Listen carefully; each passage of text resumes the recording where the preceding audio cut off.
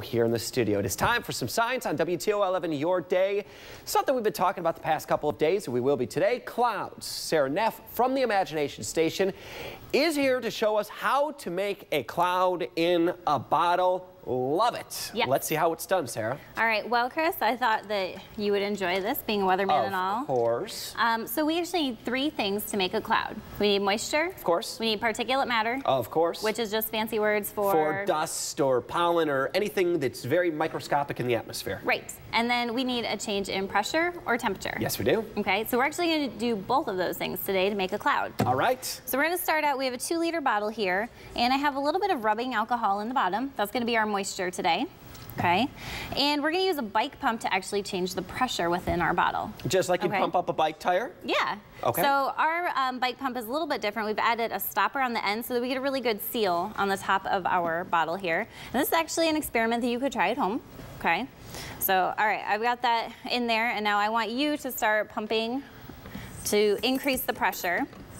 Now, like I said, we have moisture, we have that particulate matter, and we're increasing the pressure. So we have all of the components that we need to make a cloud. But I'm not seeing a cloud yet, are you? Not seeing anything yet. Okay, so maybe a few more pumps and we'll get what we need there. Okay, I'm not seeing it. So maybe, maybe we don't have a good enough seal. There we go. There is our cloud. Just like that. So it wasn't necessarily a high pressure situation that created our cloud when we pressurized the bottle. As soon as we released our pump, Right? Oh, I spilled my cloud. as soon as we pulled out the pump, we created a dramatic change in the pressure. Decrease in the pressure Yes. very rapidly. So this would be like a low pressure day. It would be cloudy outside, Yes. right? Yes, it would. Now, what if it was a high pressure day though? So I'm gonna put this back in and go ahead and Okay. pump that a few more times. There we go. Yep, now watch our cloud.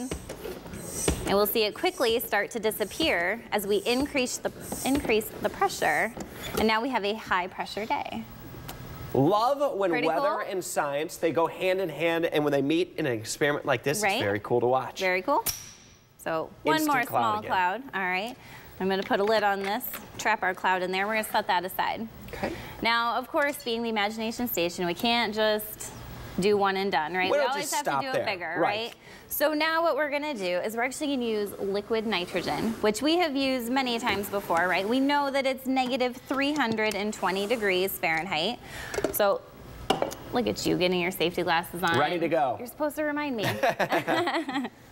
All right, so I'm gonna get my liquid nitrogen out of here. And we can see that it is boiling. It's changing from a liquid into a gas very, very quickly. So we're gonna add this to the moisture in our bottle. Okay. We've got that particulate matter all around us in the air. So I'm gonna add in the liquid nitrogen. All right, now we see a little something happening, but go ahead and give that bottle a shake. All right, shake it harder. There you go. So we want a really, really big cloud. Now we can see it kind of falling all around the studio, right? But it, it puffed pretty good. It did. Now we use our change in temperature to create this cloud because we went from negative 320 degrees to I have warm water in here that's probably about 80 degrees. Gotcha. So that's almost 400 degrees different, right? Wow. Yeah, so let's do it again. So pressure was over here, the Yep. change of temperature right here. Yep, and our constant was that we always had moisture and particulate matter present. Yeah. Right? All right, so go ahead and shake your cloud up again. Perfect. Pretty amazing, one of my favorite experiments. Love it. Yeah. Easy to see it happening, and that's what you guys are about at the Imagination Station. Yes. You basically take the science lessons and you make them fun and exciting for the kids. Always. What's happening with you guys coming up here? You're talking summer camps. We are. We have summer camp registration is open right now, and that's starting June 16th. We have three themes this year. We have super splatter science, survival science, and then our newest camp is called Behind the Mask, and that's superhero science. Lots to be had, and Oh, yes. registration is going on right now for all those camps that are going to start just as the kids are letting out of school. Sarah, thank you so much for Thank that. you. If you feel like you're in a cloud this morning, you're not alone. Coming up, we're going to have a check of your certified most accurate forecast.